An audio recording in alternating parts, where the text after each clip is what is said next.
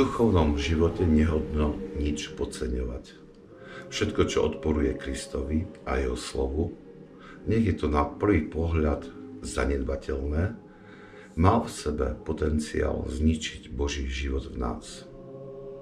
Svetý Izak Sírsky hovorí, kým je tvoje previnenie malé, vytrhni ho, aby sa nerozšírilo a nepokrylo celé pole.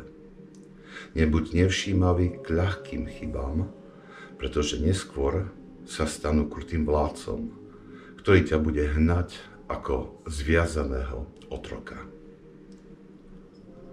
Tak ako rolník starostlivo prezrá pole a bez milosti vytrháva burinu, len čo vykličí, Podobne máme sledovať, čo klíči v našom srdci.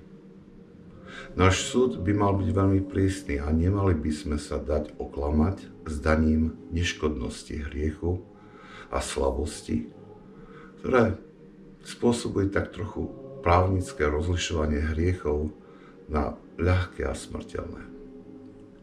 Takzvaný ľahký hriech, ktorý je pomerne ľahké vykoreniť, ak sa nechá bez povšimnutia, vyrastie vo veľký problém, ktorý spôsobí vážne škody a vyžaduje veľké duchovné úsilie na svoje odstránenie.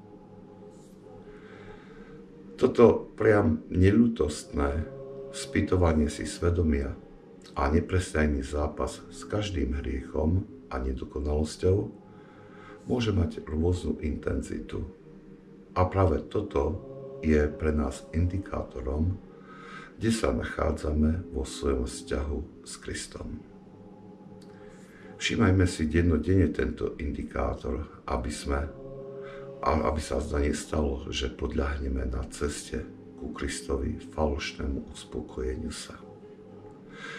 To by totiž neznamenalo len spomalenie nášho putovania, ani zastanie na tejto púti, ale mnohokrát i vydanie sa celkom opačným smerom.